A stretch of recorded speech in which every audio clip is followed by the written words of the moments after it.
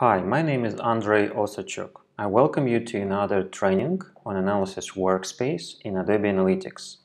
Today I'm going to show you different methods that you can use to select and filter rows in the freeform table in Analysis Workspace. Let's get started. I have a table with uh, the dimension which is called page that is showing me different pages on my site and my report suite and I have the page view metric applied. So now I can see number of page views for every single page on my site for the report period that I applied to the panel. And on the right, I can see a line visualization that shows me a trend line for the selected pages by page views. So by default, it shows me a trend line for the first line item or row, which is the home page. If I want to look at the trend line for another page, I can just click on that line and the trend line will be updated. Now it shows me the trend for the page which is called Purchase Step 1. Now what if I want to compare trend line for a few pages? I need to select more than one line in the table. And you can do this by just selecting as many lines as you want and you can just hold the left button on the mouse and uh, this will help you to select more than one line items. And as you see immediately on the right you can see the trend lines for those line items that have been selected. Now what if I want to select another page which is purchased thank you if I select the line items as before, now I will have another page which is up launch and I don't want to have this page on the chart. So there are a few ways how you can do this. First, you can select two lines, then hold the Command button on the keyboard and select another line item in the table. So this works very similar to how you do this in Microsoft Excel, for example. And now I see only three line items in the chart. So another method that you can use is you can select uh, all these, for example, four line items, and then by holding the Command button, you can deselect the line that you want to exclude from the chart. This is another way how you can do this.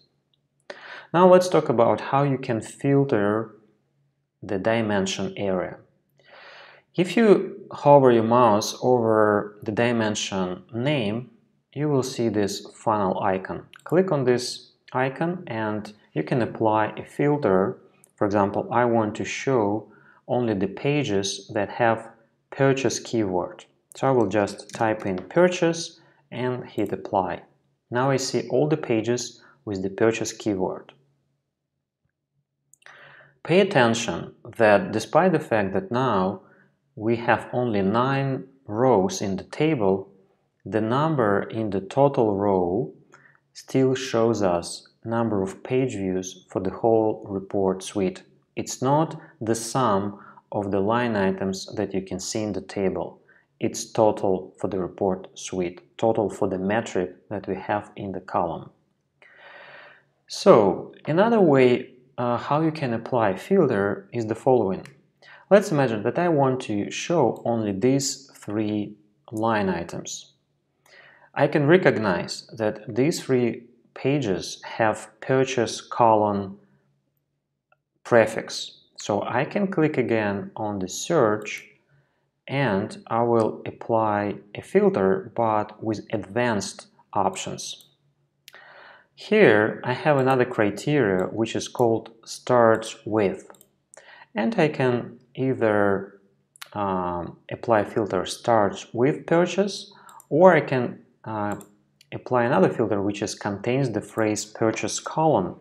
So both of them will work but my goal here is just to show you different options.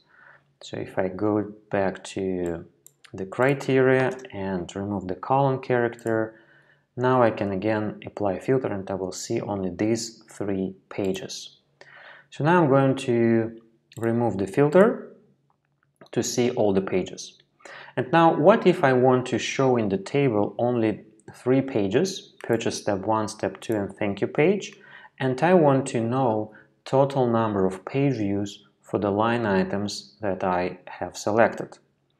There are a few ways that you can use. First is hold the command button on the keyboard and then drag these line items to the dimension area. As you see, it's highlighted as replace. So if I drop this, it will replace all the values with these three values that I have selected. So now I have the table with three pages and pay attention that now the total number represents the sum of the rows that are shown in the table. Now this is probably what you may want to have if you want to save this as a project and probably share with your colleagues. Another way is the following one. So now I want to get back to the previous state. I will need to right click and in the context menu I will need to select display all rows and this will return me to the previous state. I can again select the line items and now I will just right click and select in the drop down value in the drop down menu display only selected rows and this will work similarly to what I did before when I just dragged and dropped uh, the line items. So well, I, will, I will again right click and select display all rows. Another method that you can use is to use the left navigation. Go to the dimension area, find the dimension that you want to use. In my case, this is the page dimension and click on the arrow icon. This will show you all the values that are captured in this dimension. You can apply filter on the top to narrow the list of values and then if you want to select uh, only several line items uh, hold the command button on the keyboard and click on the line items that you want to add to the table. Now I just drag and drop this list of uh, values to the table. And again, we'll have the table only with three pages.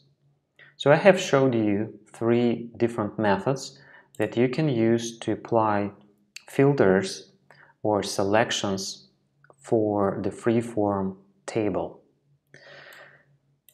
Um, another way that you can use to filter the values that are shown in the page is the following. When you have this page with, let's say, static values, you can see that now there is an icon that is pointing out to delete action. So if I don't want to have thank you page in this table, I can easily get rid of it by clicking on the delete uh, icon. So now I have only two pages and uh, I can compare traffic volume on these two pages. This is it. Hopefully this was helpful for you and you have got to know something new for you, how to apply filters and how to set the table with the desired values and uh, how to compare trend lines for those values that you have in the table. Let me know if you have any questions, if you have any other methods that you are using while doing filtering or selection in freeform tables. I will be happy to hear from you. Thank you for watching and talk to you next time.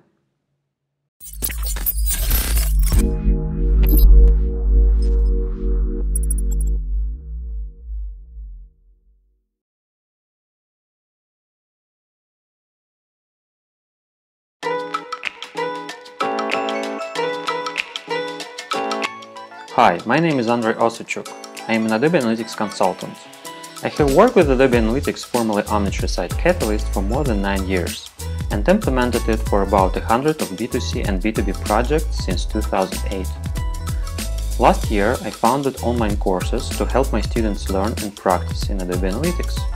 We work together on solution architecture based on business requirements, implement Adobe DTM and Launch, configure analytics report suites, set up reporting and do data analysis while looking for insights. As you are watching this video, you are likely familiar with my YouTube channel where I share my experience and best practices. Today I'm happy to announce my new video course for analytics developers, architects and administrators that is called Report Suite Configuration in Adobe Analytics. This course will be helpful for everyone who wants to become a professional in Adobe Analytics.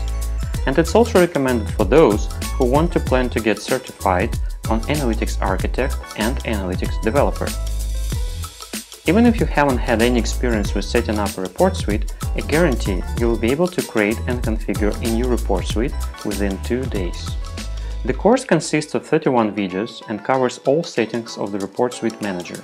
In each video, I explain the purpose of the setting, give you examples and share my best practices for configuration. It will take you about a day to watch all videos and another day to set up a report suite following the guidance. I know that questions appear while doing, you may have an experience that after attending a webinar or a training course, you had many questions. Perhaps you had a very specific situation that wasn't covered on that webinar, and then you felt you didn't reach the desired goal as the course didn't help you accomplish what you wanted. This is why I support my students with their questions while and after the training. Everyone who will sign up for this course will be able to contact me directly so if you have a question on Report Suite configuration after watching this video course, you can contact me and I will help you. Additionally, I give 30 minutes to every student for personal consultation on Adobe Experience Cloud for free.